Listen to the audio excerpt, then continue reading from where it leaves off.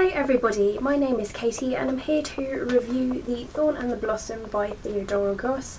I received this book from the publisher Quirk Books in exchange for an honest review, so thank you so much to you guys, I'm really really grateful for that. However, it does not affect my opinion on the book whatsoever, it's my true opinion only and this is going to be a spoiler free review so don't worry about that.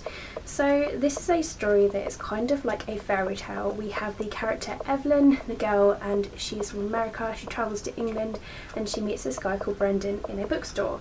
They end up travelling off together and developing a romance. However, Evelyn suffers from horrible visions and she ends up seeing a vision whilst she kisses Brendan and she ends up running away and there's a lot of that throughout this book her suffering from the visions and the running away but they always meet together so it is a tale about fate and it is a good story. So I found the romance wasn't really overtaking the story, which is nice.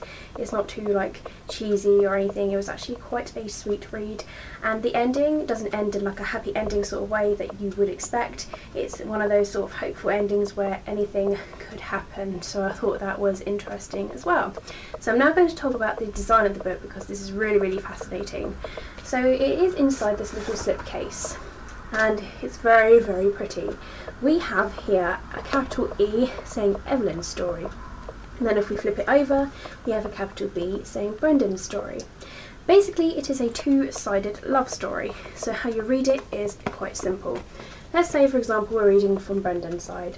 We open it like this, we have a picture of him on the inside and then it's pretty much like this and you can read it exactly like a book just by flipping over the double page.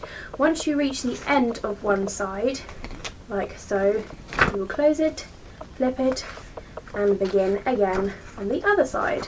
So that's quite fascinating. I will say it is written in second person, it's not necessarily first person, so from the actual perspectives.